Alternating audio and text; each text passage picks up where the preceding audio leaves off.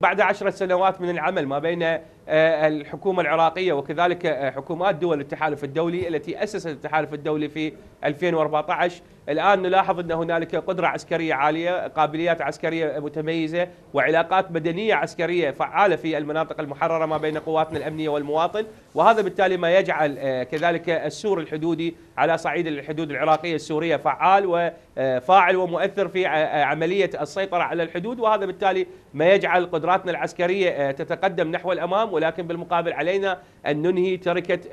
يعني محاربة التنظيم الإرهابي داعش وواحد من الملفات الاستراتيجية وهذا ما ذكر السيد رئيس وزراء هي قضية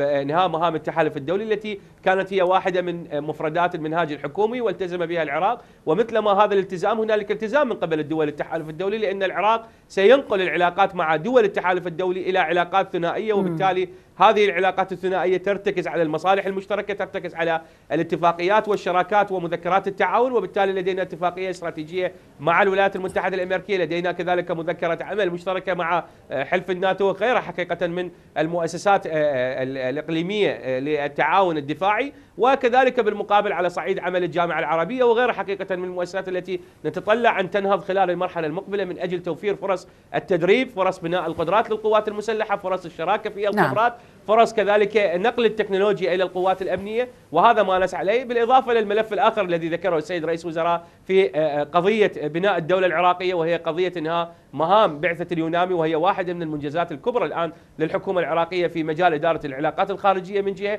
وإدارة آه، بناء الدولة العراقية طيب. كون العراق الآن مستقر كون العراق مستقل وكذلك بالمقابل العراق يقود قراره بذاته